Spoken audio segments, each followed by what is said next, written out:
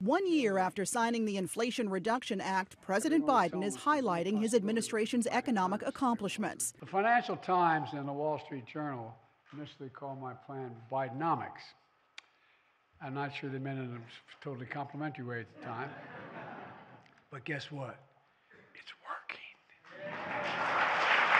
Tuesday's report from the Commerce Department showing retail sales rose a better than expected seven tenths of a percent in July, marking the fourth straight month of increases.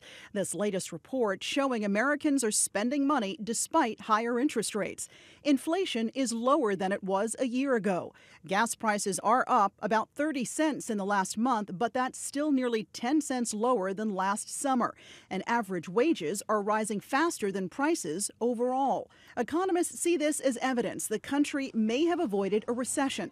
But the economy is still facing headwinds. Experts predict interest rates will remain elevated through the end of the year, meaning it will be more expensive to borrow money. Things like credit cards, car loans, and mortgages expected to cost more. Another factor that could impact consumer spending as we head into the fall the COVID era pause on student loan interest and payments is slated to end in the coming weeks.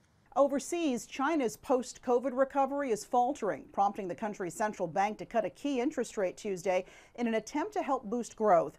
Officials in the world's second largest economy also skipped the release of a report on youth unemployment figures, which some see as a key indication of China's economic slowdown. Alexis Christoforous, ABC News, New York.